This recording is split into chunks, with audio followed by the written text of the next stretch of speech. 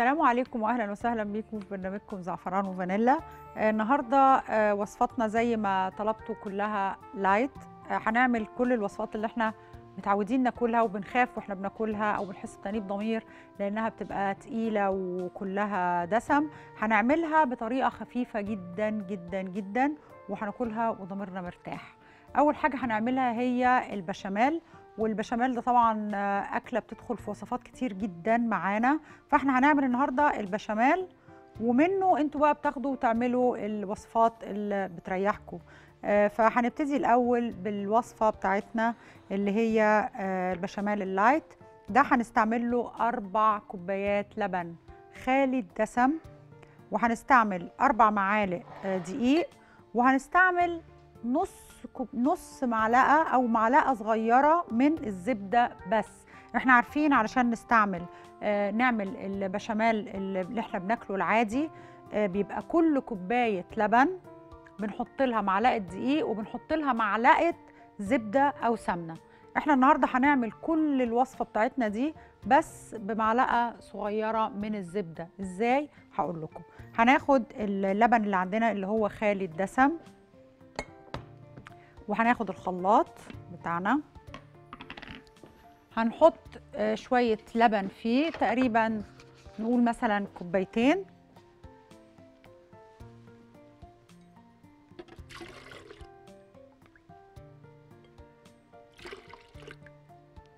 يعني بناخد نص الكمية تقريبا نحطها.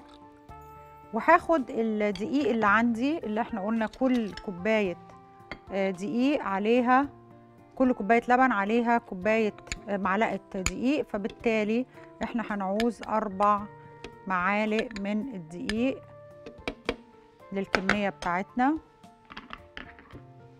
وهنخلط الكلام ده كله في الخلاط.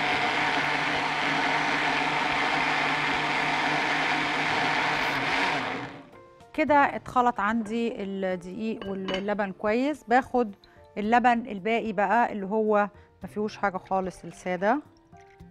بحطه على النار.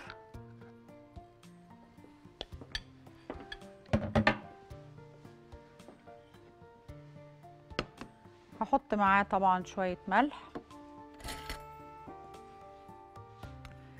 آه في ناس كتير بتقول إن الدقيق لازم يتحمص يعني عايزين تحمصوا حمصوا بس أنا بصراحة لما جربت الطريقة دي حطيت شوية رشة فلفل أسود. ممكن تحطوا فلفل أبيض بس أنا بحب لون الفلفل الأسود وهو عايم كده في في اللبن بيبقى شكله مشهي. آه زي ما قلت لكم في ناس بتقول إن الدقيق بيبقى طعمه لازم يتحمر الأول مع السمنة. مش مظبوط الكلام ده خالص. واللي حابب يعمل غير كده ممكن يحط الدقيق على النار لوحده خالص يحمصه لمدة دقيقة وبعدين يحطه في الخلاط زي ما إحنا عملنا دلوقتي. بس أنا آه، حبيت الطريقة دي وهو كده آه، أبيض آه، أكتر من لما حطيته يتحمص. وطبعا في الآخر أنتوا حرين حسب الذوق. هي الفكرة كلها إني أوريكم إزاي ممكن ناكل البشاميل ب يعني ب... بطريقة light خالص. هي أنا ما بحبش الرجيم. طول عمري ما بحبش الرجيم. وعمري ما عرفت أمشي على رجيم. ومهما تخنت ما بعرفش امشي على رجيم بس بقدر أغير من ال- ال- ال- ال lifestyle اللي أنا بالطريقة اللي أنا باكلها. يعني بدل ما آكل زي ما قلت لكم اللبن يبقى كامل الدسم وبدل ما أحط جبنة كتير وبدل ما أحط أربع معالق زبدة أو أربع معالق سمنة كل الحاجات دي بقللها وفي نفس الوقت بروح باكل كميات آه، أقل. بس ما باكلش رجيم خالص لأن بصراحة أنا بشوف إن الأكل ده نعمة من نعم ربنا علينا وبشوف إن الأكل ده متعة. والرجيم ده تعذيب.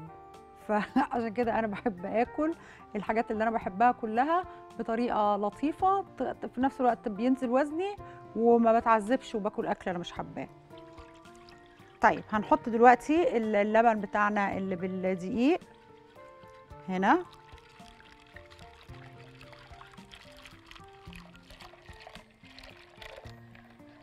ده بقى البشاميل بتاعنا الخفيف جدا جدا جدا. مفيش أي تأنيب ضمير هنحس بيه وإحنا بناكله وفي نفس الوقت بقى تقدروا تعملوا بيه مكرونة بشاميل. المكرونة حتى لو تحبوا تقدروا تستعملوا المكرونة اللي بالدقيق الأسمر لو برضو مش عايزين المكرونة العادية تقدروا تعملوا خضار بالبشاميل بقى طبق لايت وصحي كمان. فهو ده يعني قاعدة لأكلات تانية كتير بنقدر إن إحنا آه، ناكلها. هحط معاه شوية رشة من جوز الطيب كتير هتفرق في الطعم. ودلوقتي هفضل أقلبه لغاية ما يبتدي يغلي وقوامه يتخن معايا وبيبقى جاهز إن إحنا نعمل وصفتنا التانية برضو اللي هي مسقعة اللايت. فهنطلع دلوقتي فاصل وهنرجع بعد الفاصل نكمل معاكم بقية وصفاتنا. نشوفكم بعد الفاصل إن شاء الله.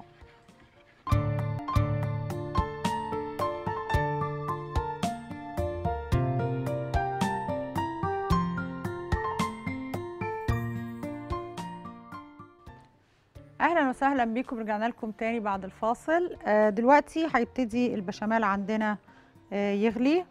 فزي ما قلنا هناخد له معلقة صغيرة بس ولو مش عايزين تحطوا خالص ما تحطوش.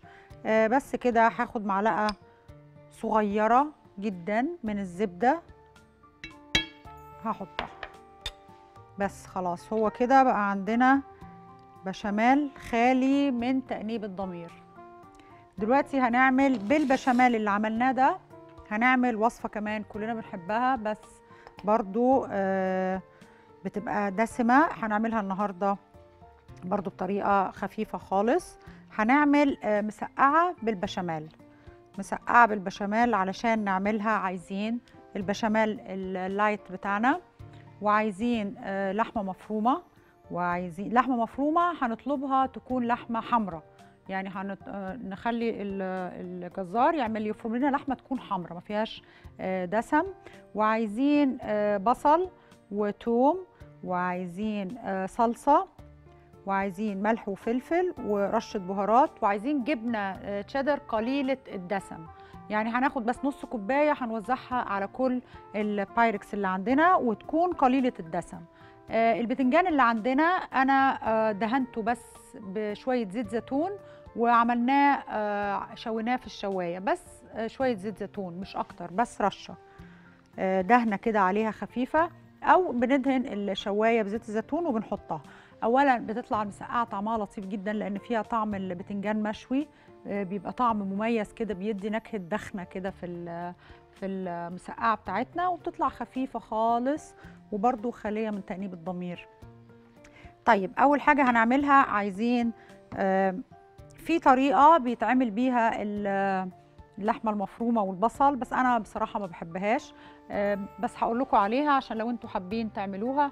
آه، بيتحط اللحمة والبصل على النار وبيتقلبوا من غير أي دسم. بس أنا بصراحة ما بحبهاش قوي. فأنا هستعمل برضو آه، معلقة صغيرة من الزيت. يعني يا دوب معلقة يا دوب بس معلقة كبيرة معلش. معلقة كبيرة من الزيت وبس هو ده هيكون كل الدسم اللي في الأكلة بتاعتي. يعني كل الأكلة دي ما فيهاش غير آه، معلقة صغيرة زبدة ومعلقة كبيرة زيت فقط لا غير. طيب نحط دلوقتي البصل. هنعصج اللحمة عادي خالص.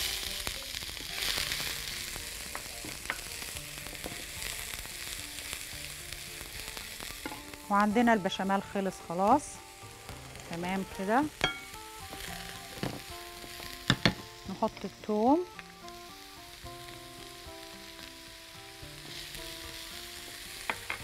بنقدر نحط مع اللحمة شوية ريحان أو نحط آه، بقدونس لو تحبوا كل الحاجات دي بتدي آه، طعم حلو برضو.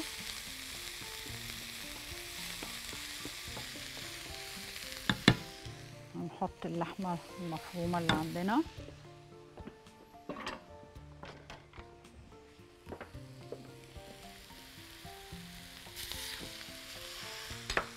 وزي ما قلنا بنطلب اللحمة المفرومة تكون لحمة حمراء.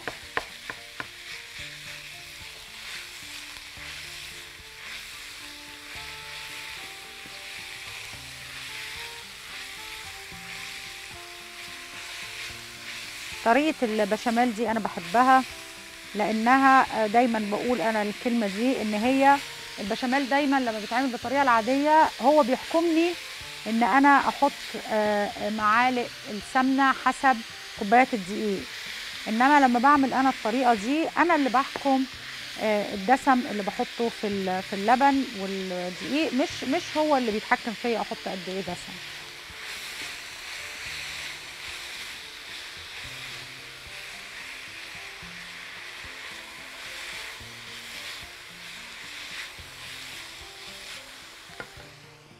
هنحط بقى شوية ملح.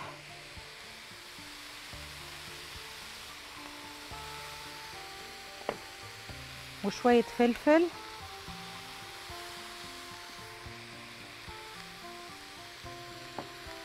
شوية جوز الطيب. شوية بهارات.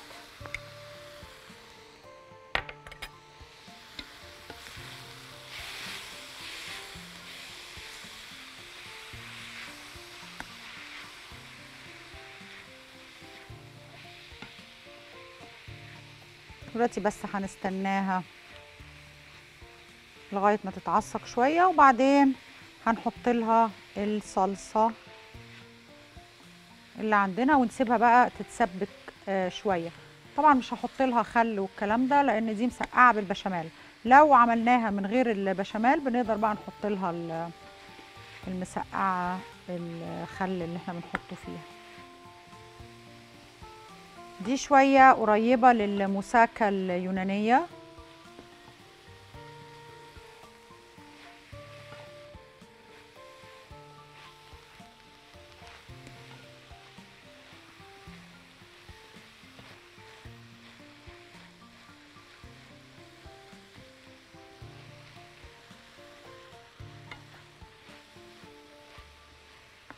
طيب نحط بقى دلوقتي الصلصة. خلينا نجيب شوية مية بس عشان لما نيجي نحط المية.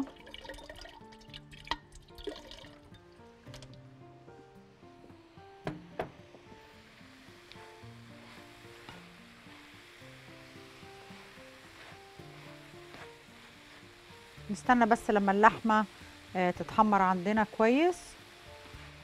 وبعدين نحط لها الصلصة والمية. طيب إحنا عندنا كده اللحمة اتعصجت اهي. بقت تمام. هناخد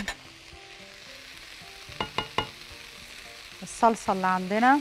وعلى فكرة ال- يعني فكرة إن الأكل لما بيبقى لا- لايت بيبقى مش حلو دي مش فكرة حقيقية خالص. طلبت أنا في نادي من يومين كده إني أروح تحكيم في مسابقة آه، أكل صحي. بصراحة الستات أبدعوا بالأكل الصحي اللي هم عاملينه وطعمه كله تحفة. كان في 14 ست مشتركة يعني وكل ست كانت مشتركة بطبقين يعني دقت 28 طبق تخيلوا. 28 طبق كنت خارجة أتعشى بعديها. فعملوا أكل حلو جدا حلويات وطبخ. فبصراحة وكتير اتشجعت. وهم هم طلبوا كمان إنه البرنامج يبقى فيه آه، وصفات كل حينة ومينة كده آه، نعمل شوية حاجات خفيفة. فالنهاردة كده دي أول حلقة بقى هنعملها يكون فيها شوية أكل آه، خفيف عن اللي إحنا متعودين نعمله. آه، هنحط بقى الصلصة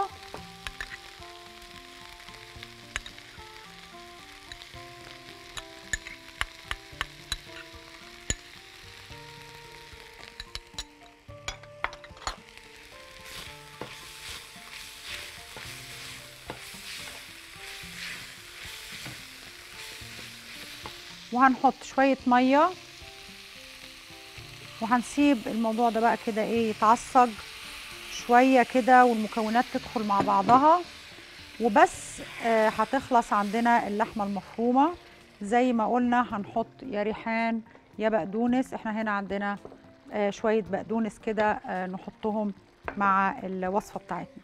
بس هنستنى كده لما تتسبك شوية الصوص. آه هنطلع فاصل. وهنرجع بعد الفاصل عشان نكمل معاكم بقية وصفاتنا. بشوفكم بعد الفاصل إن شاء الله.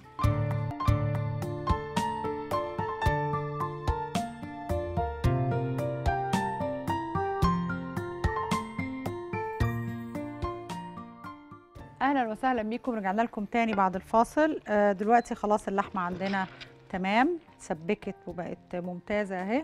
هناخد بقى دلوقتي آه بقدونس زي ما اتفقنا. أو ريحان برضو بيبقى طعمه تحفة. وهنحطه مع الصوص بتاعتنا صوص اللحمة المفرومة. نحط شوية كده. يعني معلقتين كبار مثلا. بيدوا طعم جميل قوي. وناخد بقى البايركس بتاعنا ونبتدي نطبق الوصفة بتاعتنا. الجبنة المبشورة ال light دي على فكرة موجودة في كل السوبر ماركتات ما هيش حاجة مفقودة يعني. ومش لازم تشيدر يعني أي نوع جبنة من الجبن اللي إحنا متعودين نعملها آه هنلاقي منه light يعني مثلا لو تشيدر لو موتزاريلا بس مهم تكون light عشان نخفف من الطبق بتاعنا من الدسم اللي فيه. وفي نفس الوقت ما خسرناش طعم آه حلو. طيب آه أول حاجة هنعملها بقى عايزين نحط بس أنا بحب أحط دايما شوية كده تحت.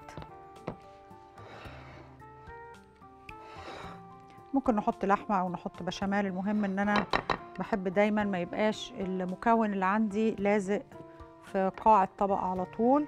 هنحط البتنجان بتاعنا اللي إحنا قلنا إن إحنا شويناه على الشواية.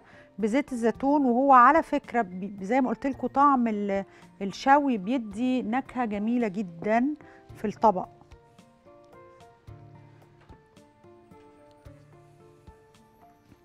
تمام كده. هناخد اللحمة بقى بتاعتنا. هنحطها.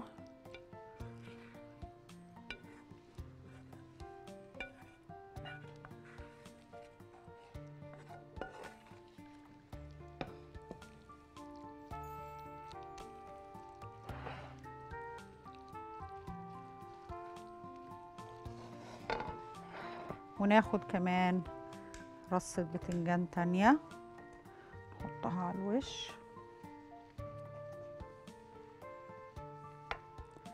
ممكن كمان آه لو تحبوا بتضيفوا فلفل أخضر معاها. آه قوطة إحنا حطينا فمش مش مضطرين نحط تاني بس ممكن تضيفوا فلفل أخضر معاها كمان بتبقى حلوة قوي.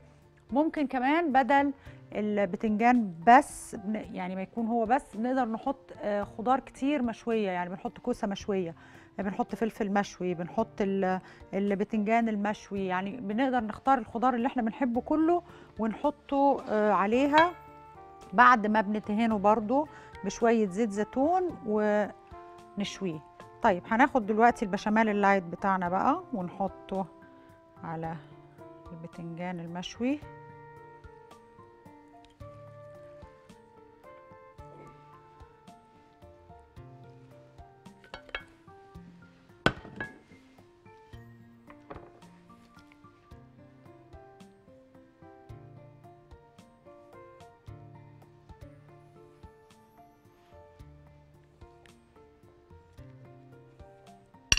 هناخد تقريبا نص كوباية من الجبنة اللايت المفضلة عندكم وهنحطها بس كده على الوش. لو حسبنا كل واحد ممكن تطلع له قد إيه نصيبه من الجبنة دي هيطلع لكل واحد يمكن نص معلقة صغيرة أو معلقة صغيرة بالكتير قوي من الجبنة. بس خلاص حتى ما كملناش نص كوباية ربع كوباية بس أهو. هناخدها بقى نحطها في الفرن. إحنا عندنا كل المكونات جاهزة. إحنا بس عايزين المكونات كده تركز مع بعضها. والجبنة اللي على الوش تسيح والمكونات تتجانس.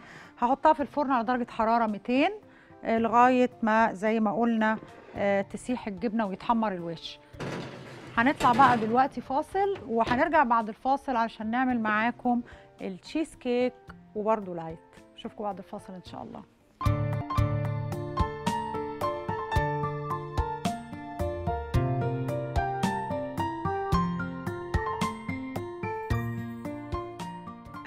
أهلا بكم رجعنا لكم تاني بعد الفاصل. آه دلوقتي هنعمل ال cheesecake ال light المخبوزة. آه الوصفة دي علشان نعملها عايزين بسكوت. هنجيب بسكوت اللي هو بسكوت القمح وده بيبقى فيه منه مكتوب عليه light وفيه منه عادي. إحنا هنجيب منه ال light وعايزين منه كوبايتين تقريبا. وهنعوز كمان ثلاث كوبايات من الجبنة القريش.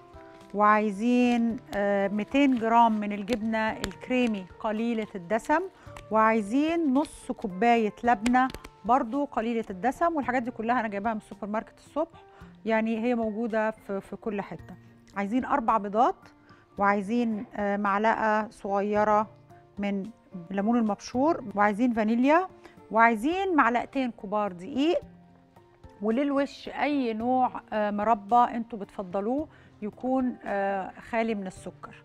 آه، طبيعي يعني خالص مش متضاف له أي آه، سكر. طيب دلوقتي إحنا عايزين علشان نعمل البسكوت بتاعنا قلنا إن إحنا جبنا البسكوت القمح اللايت هناخده ونحط له بس معلقة زيت ومعلقة الزيت دي هخلط معاها تقريبا أربع معالق من المية السخنة عشان خاطر تمسك لي الخليط بتاعي.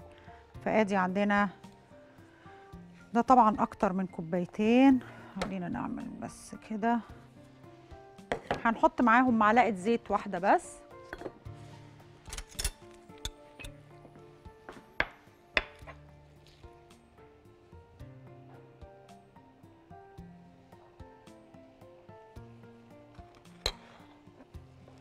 وهنحط معاهم أربع معالق تقريبا مية كبيرة.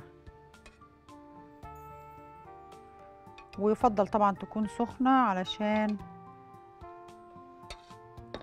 تدوب ال- السكر بسرعة تدوب البسكوت بسرعة. هنشوف يعني هنحط أربع معالق وهنشوف لو البسكوت مسك معانا ولا عايزين كمان آه، شوية صغيرين. ممكن نعوز كمان معلقتين مثلا مع إن هو ابتدى يمسك بس أنا شايفة إن هو ممكن ياخد كمان معلقتين. كده تمام. يعني حطينا لها ست معالق مية ومعلقة واحدة بس من الزيت. آدي آه، أول حاجة إحنا خففناها من القاعدة بتاعة البسكوت بتاعتنا. إحنا المفروض الكمية دي بنحط لها خمس آه، بنحط لها 100 جرام زبدة. إحنا ما حطيناش زبدة خالص.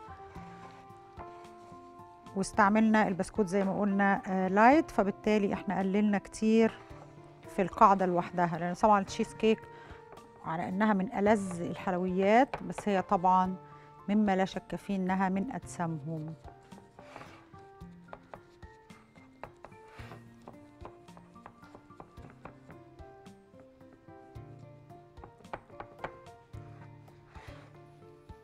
نضغطها بس كويس.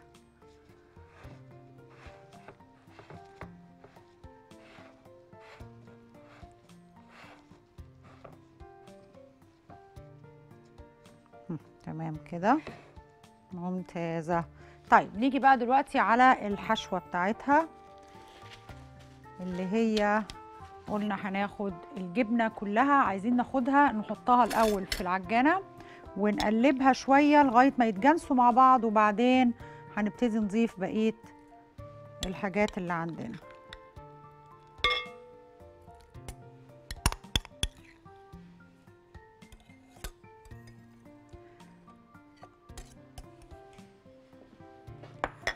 هنحط معاها اللبنة. لبنة قليلة الدسم. وهنحط ال 200 جرام جبنة كريمي لايت برضو. وهنحط معاها بقية المكونات بعد ما بنخلطهم بس مع بعض شوية.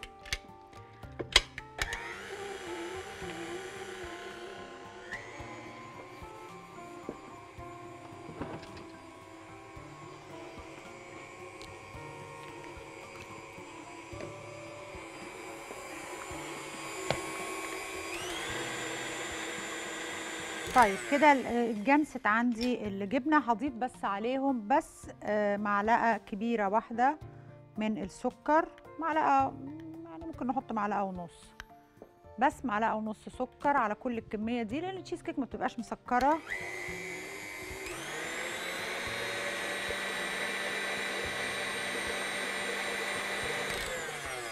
ونبتدي بقى نضيف بقية المكونات اللي عندنا الفانيليا وأربع بيضات.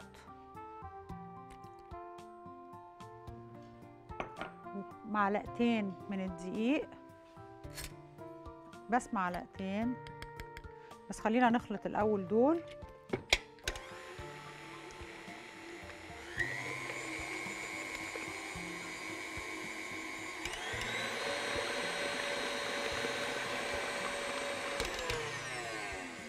ونحط معلقتين الدقيق. دول طبعا أكتر كتير بس إحنا عايزين معلقتين بس. نحط يا إما آه، ببشر ليمون يا إما ببشر برتقان زي ما بتحبوا. أنتوا النكهة اللي أنتوا بتحبوها تبان أكتر في التشيز كيك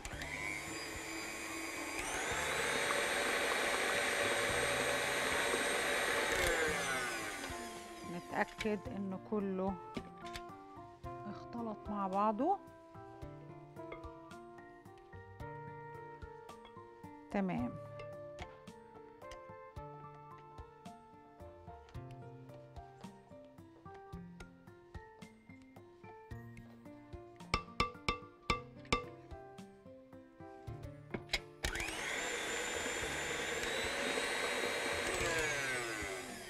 خلاص كده الخليط بتاع التشيز كيك عندي جاهز.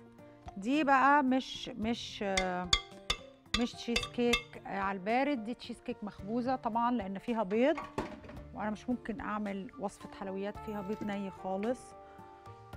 آه، هناخد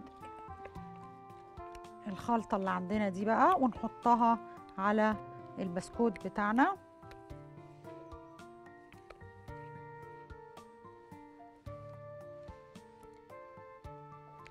هحطها في الفرن على درجة حرارة 180 وهقعدها بالظبط 40 دقيقة. بالظبط 40 دقيقة على 180 لو لقيتوها يعني طرية قوي خلوها 45 دقيقة مش أكتر من كده أبدا.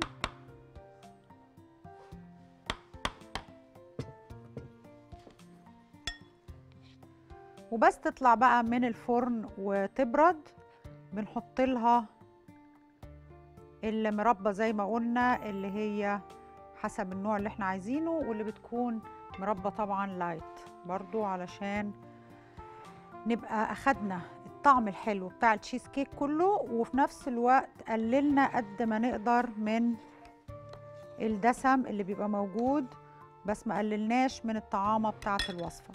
هاخد دلوقتي بقى زي ما قلنا آه، صينية التشيز كيك احطها في الفرن على درجة حرارة 180 45 دقيقة وبتطلع آه، بنستنى لما تبرد وبعدين نحطها في التلاجة. دلوقتي هحطها في الفرن وهنطلع فاصل وبشوفكم بعد الفاصل إن شاء الله.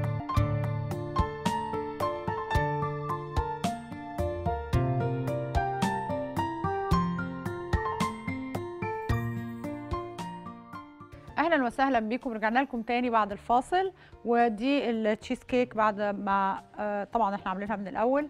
طلعت من الفرن ودخلناها التلاجة وقعدت في التلاجة بتاع أربع خمس ساعات مثلا. بعدين حطينا لها فوق الفراولة مربة الفراولة الخفيفة ال light. آه، ودلوقتي عايزين نشوف المسقعة بتاعتنا. برضو خلصت. إحنا عملنا طبعا النهارده ثلاث وصفات بس منهم وصفة دخلت جوه وصفة فبقوا باينين وصفتين بس هم ثلاثة عشان أول سيجمنت عملنا البشاميل وبعدين استعملناه في المسقعة بتاعتنا اللي إحنا عملناها.